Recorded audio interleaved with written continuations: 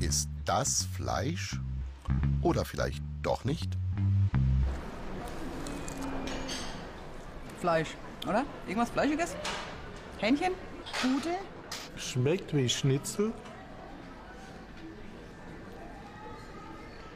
aber ist wahrscheinlich etwas anderes.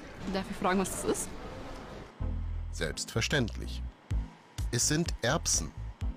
Genau genommen ein Fleischersatzprodukt aus Erbsenprotein und einigen anderen pflanzlichen Zutaten, das seit kurzem in Bamberg von der Firma Amidori produziert wird.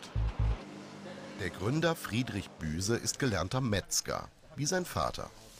Doch den Familienbetrieb wollte er nicht weiterführen, denn vor allem das Tierwohl war ihm wichtig. Nachdem ich nicht mehr den Eindruck hatte, dass ich das in der Fleischwarenindustrie umsetzen kann, verbessern kann, nicht nur national, auch international, habe ich dann gedacht, okay, was kann man denn machen, um diesen Auswuchs von Massenproduktion an Tieren, von Massenproduktion an Fleisch und Wurst, was ja oftmals noch nicht mal mehr die Bezeichnung äh, verdient, wie man das ändern kann. Was kann man dagegen setzen? Seine Lösung?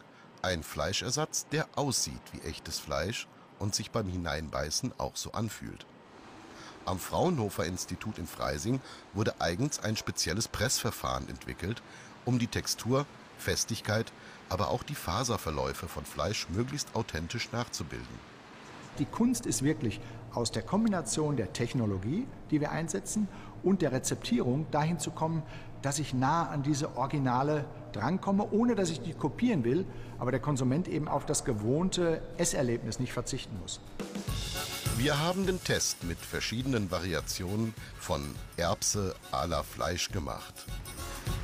Von Bolognese über Fingerfood bis zum Geschnetzelten. Lassen sich damit auch Fleischkonsumenten überzeugen? Schmeckt gut. Wenn man mir nicht gesagt hätte, das ist kein Fleisch, hätte ich nicht gedacht, dass es keines ist. Es schmeckt gut. Also ich hätte das jetzt nicht gedacht, dass es kein Fleisch ist. Hm.